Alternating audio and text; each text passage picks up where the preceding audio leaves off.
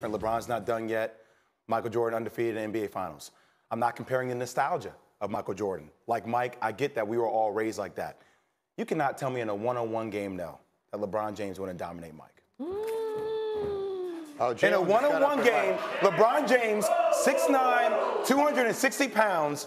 If the game was at seven, I think LeBron would win seven to three. Sweet, Oh sweet my Lord.